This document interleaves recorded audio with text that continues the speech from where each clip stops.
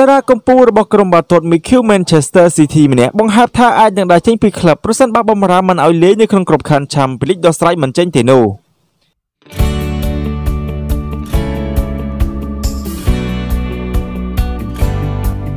ខ្សែបម្រើឆ្នាំ Kevin De Bruyne បានសារភាពថារូបគេប្រហែលជាត្រូវពិចារណាចំពោះអនាគតរបស់ខ្លួននៅឯក្លឹបបាល់ទាត់ Mikel Manchester City ប្រសិនបើពួកគេនៅតែមិនអាចដោះស្រាយចំពោះបំរាមមិនឲ្យចូលលេងនៅក្នុងក្របខ័ណ្ឌ Champions League រយៈពេល2ឆ្នាំបានទេនោះ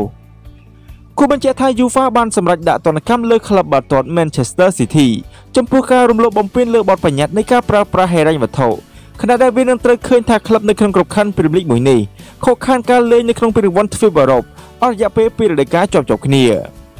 ជាស្ដែង Kevin De Bruyne ត្រូវបានគេចាត់ទុកថាជាកីឡាករដ៏ឆ្នើមបំផុតរបស់ក្រុមបាល់ទាត់ Manchester City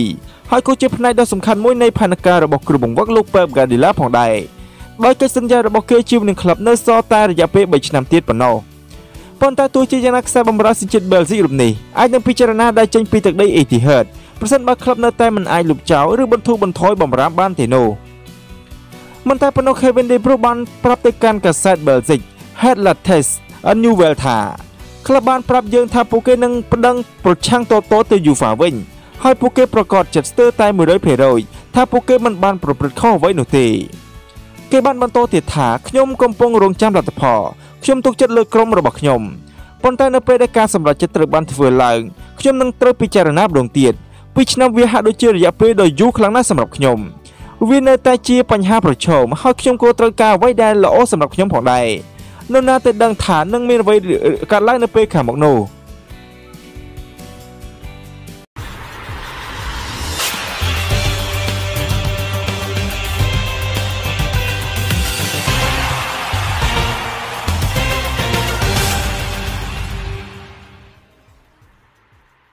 ដោយសារវីរុស COVID-19 ក្រុមបាល់ទាត់នៃមានប៉ុនបាល់សេឡណាបង្ខំចិត្តលក់ចេញកីឡាករឆ្នាំរបស់ខ្លួន9រូបឲ្យក្លឹបអ្នកមានអ្នកមាននៅក្នុងប្រទេសអង់គ្លេស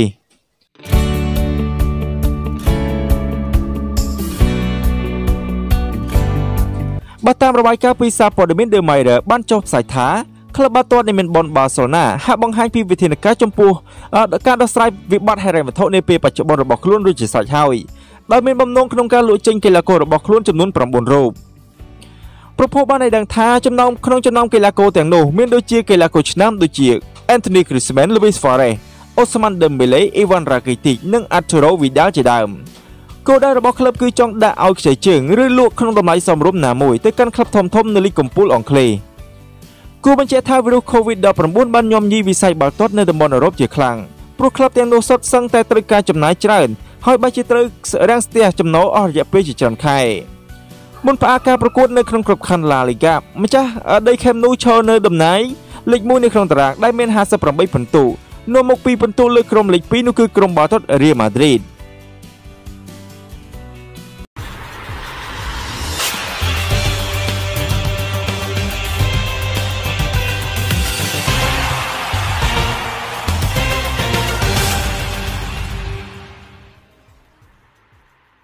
ឃើញក្រុមបាល់ទាត់បិសាចក្រហម Manchester United និង Inter Milan កំពុងរុញដាក់គ្នាក្លឹបធំមួយនៅក្នុងក្របខ័ណ្ឌ Serie A ចង់ផ្ដល់ឱកាសដល់កីឡាករ Alexis Sanchez សាងអាជីពជាថ្មី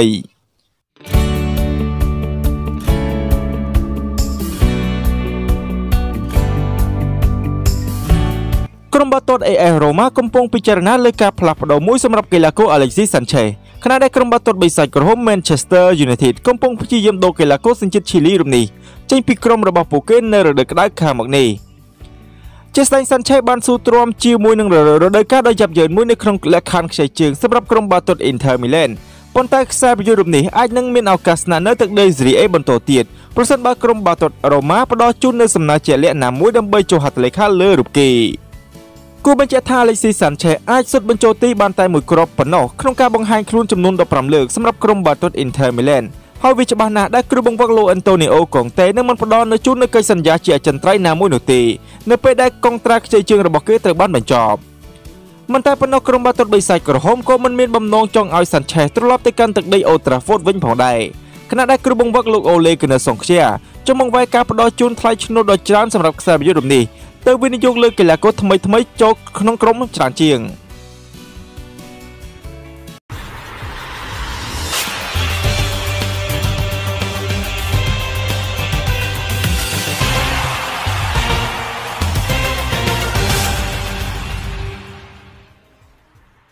ក្រុមបាល់ទាត់នេមិនប៉ុន AC បាសេឡូណាបានចាប់អារម្មណ៍នាំយកតារាឆ្នាំនៅក្នុងក្របខ័ណ្ឌ Bundesliga ប្រសិនបើមិនអាចនាំយកកីឡាករខ្សែប្រយុទ្ធណេម៉ាមកវិញបាន។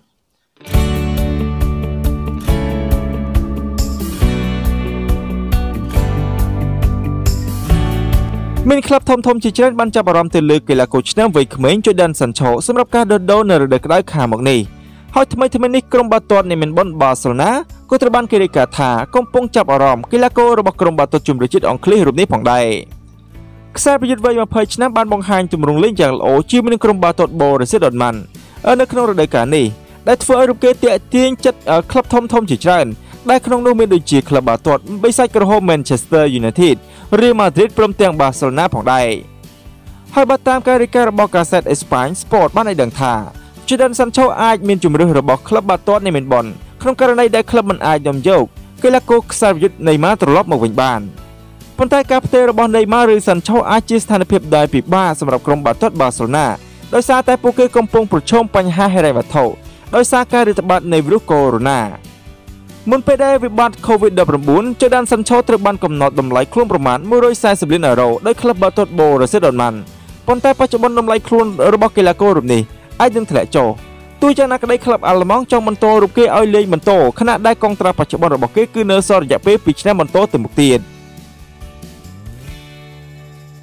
សូមអរគុណបងប្អូនដែលបានទស្សនានៅវីដេអូរបស់យើងប្រសិនបើមានកំហុសខុសឆ្គងនៅក្នុងការអានអត្ថបទព័ត៌មានកីឡាទាំងអស់នេះនៅត្រង់ចំណុចណានោះក៏សូមមេត្តាជាស្រីផងដែរសូមបងប្អូនជួយ click នៅលើពាក្យ Subscribe ក៏ដូចជាដែលរូបគុណដឹងផងដែរដើម្បីទទួលបាននៅវីដេអូអត្ថបទព័ត៌មានថ្មីៗបន្ថែមទៀតអំពី Channel KSA Reader របស់យើងខ្ញុំសូមអរគុណសូមគោរពលាជួបគ្នានៅវីដេអូក្រោយ